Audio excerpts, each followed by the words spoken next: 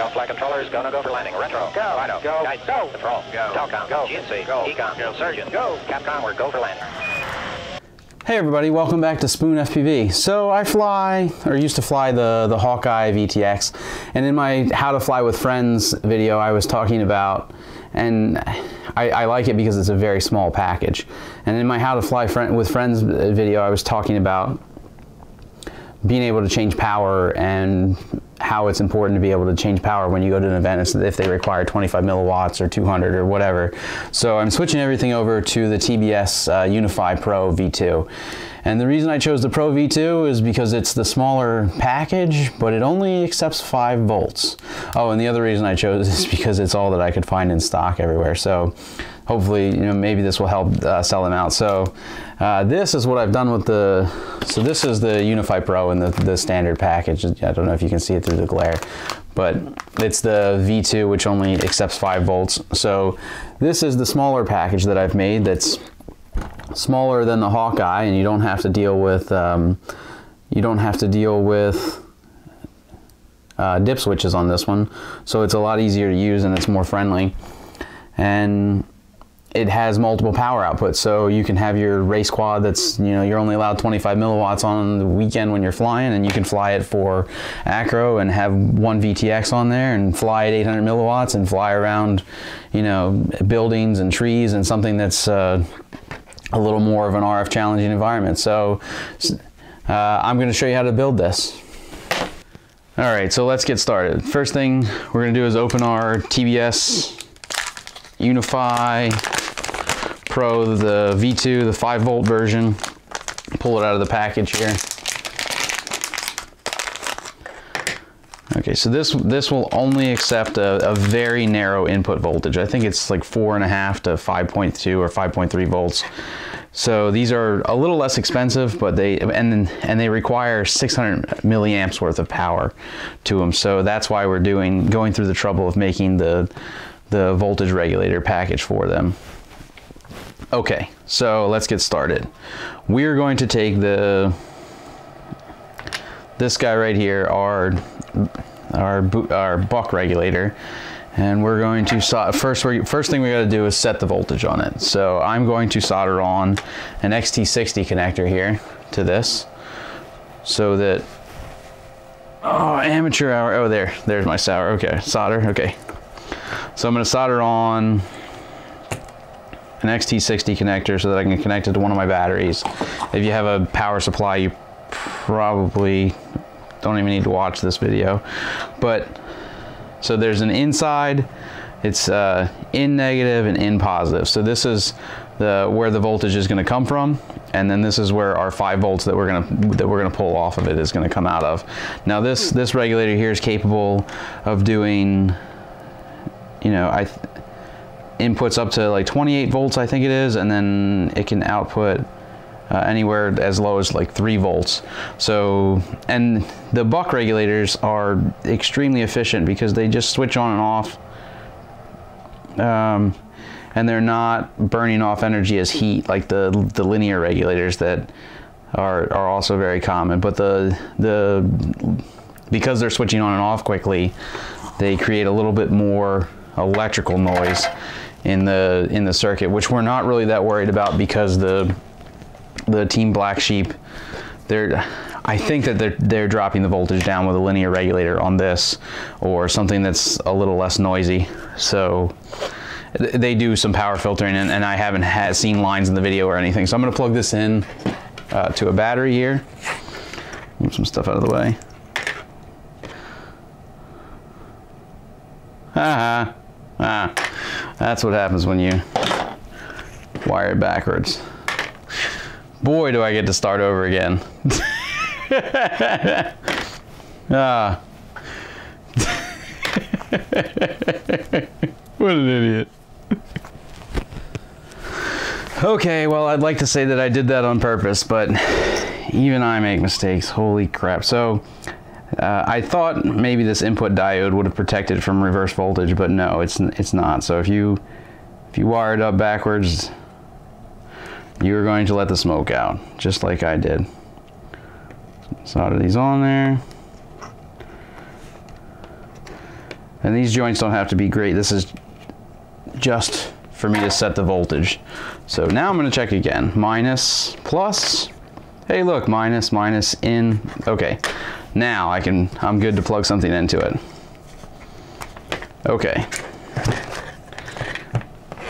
All right, now we're gonna set the voltage by pulling out our multimeter and measuring the output. So we're gonna measure the output voltage on that, DC volts from positive to negative here. So it's currently set at 10.17 volts.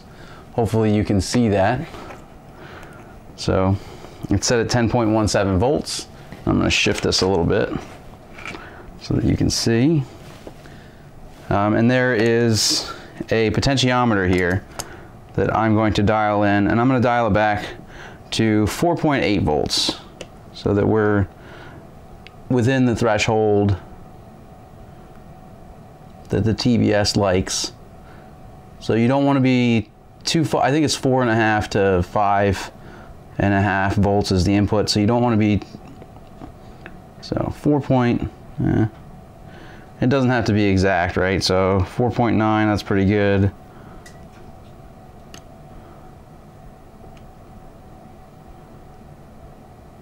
like 4.8.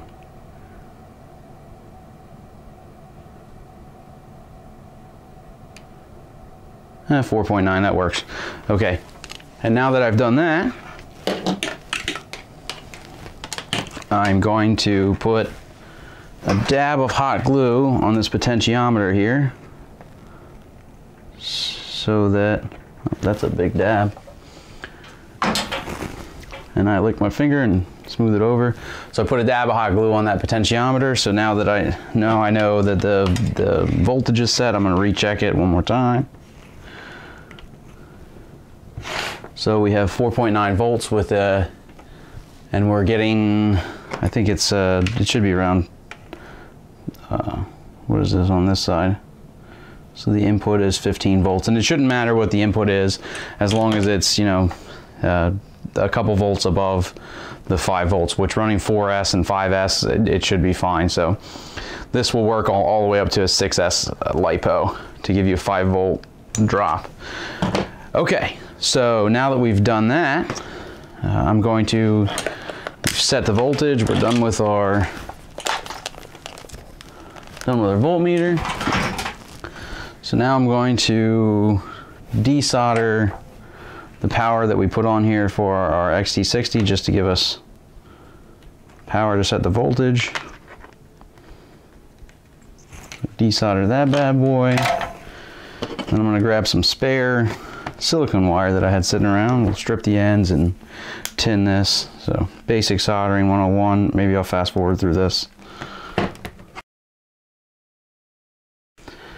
All right, so now the connections on here are tinned, the wires are tinned. I'll just solder the, the wires on here. I like to solder them so that they're running up like this.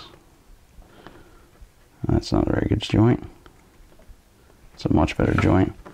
So I run the, the black, the negative wire around this way and then I'll run the positive wire up and through here so that they both come out in one spot.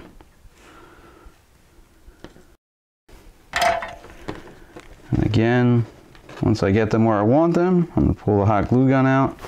I'll put a little, little dab in there. This is really just to hold it until we heat shrink it. That's, now that's done. Let's take care of the output side. So we're gonna take our TBS core here, see how it says 5 volts. Apparently, I guess they've probably had a lot of people plug these in and fry them immediately. But you need to have it needs, it requires a five volt input. So I'll take this five volt sticker off of there. Come on. You get to see me fiddle with this. So, because people don't read the instructions and fry their stuff, you know, so I understand TBS point, right? They want to give you a product that you're not going to destroy. So one end, one end of this plugs into like a Combini or, or whatever, and the other end plugs into the TBS. Um, I don't know what the other end's for, but I'm sure it plugs into something that I don't have. So, okay, find the end that plugs in. This is the end that plugs in. And what we're gonna do is we're gonna take and well, I'm gonna just cut the other end because I'm not using it. There we go. Now I'm not fooling with that anymore. Okay. And this is the output side. So I take it and I, when I'm done, I'm gonna have them stacked back to back like this. Right? So now they're they're back to back and it's a very thin uh, layout because you can actually see that this regulator is the same size as the as the TBS Unify V2. So now I'm going to take and make sure that we get red to red, black to black here again. So I'll make a little mark here with my fingernail on where I need to cut the red and then I'll run the black through, make a little mark, my fingernail. And then I will cut and strip these. Did I make a good, yeah I did, okay. So you can't see my fingernail mark, but here's my fingernail mark for the black. And here's my fingernail mark for the red. So those are all cut now. We'll strip and solder those on there.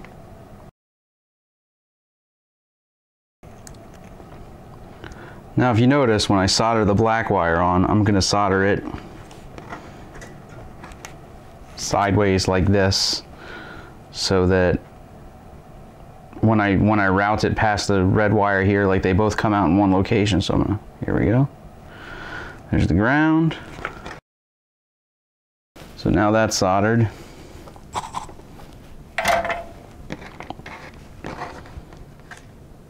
and we'll check our fit on our TBS here. So plug that guy in.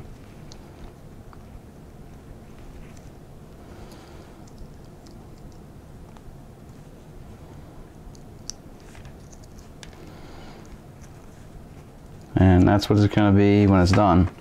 So now I'll shrink over, I'll shrink over this guy.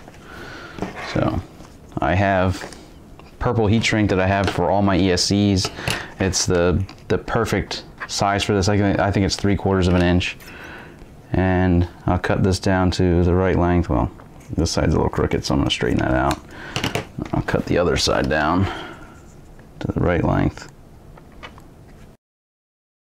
I guess I should check my polarity one more time. Red, red, black, black. Yep, out, out, okay.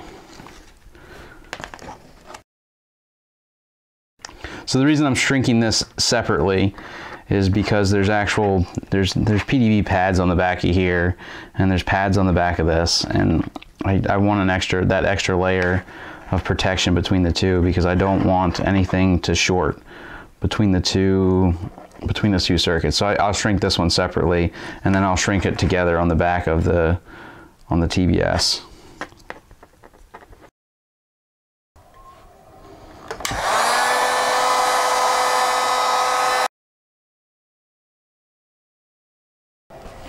Now that's good and shrunk.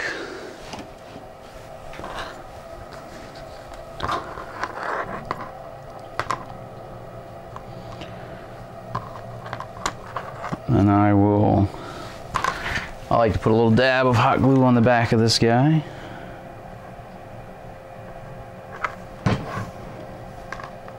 And smash them together.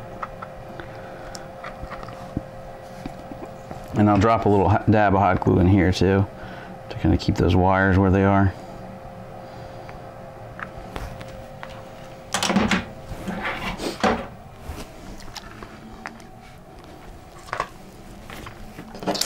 And then I will shrink the entire thing down with uh, this clear. So this stuff is uh, PVC shrink if you're wondering what like the clear stuff they put over everything. Um, and I, I like to have a little bit on hand because you can do things and then it makes it look super pro at the end. And the way that I'm running this ESC, I'm actually running the, I know that I'm running the wires down one side, so I'll put them down this side here, and then I will, or not, not ESC, sorry, this, this VTX. So put the wires down one side, come on.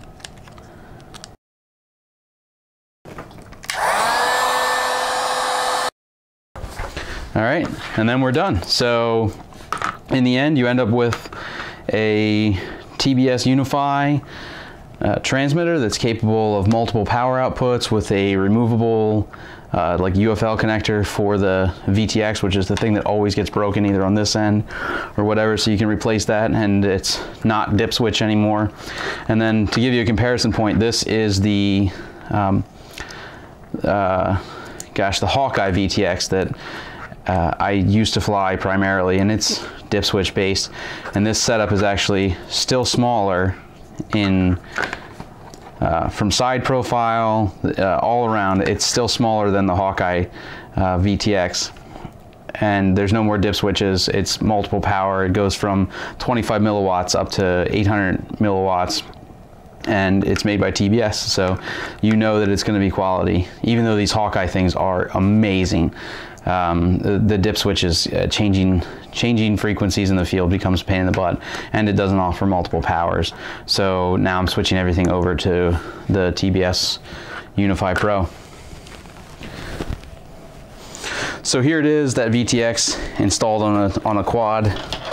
So this is the the little package that we made earlier and then this is it installed on a quad. This is the giveaway quad um, for my 100 subscribers. So that's the VTX. And when I power this on, you'll see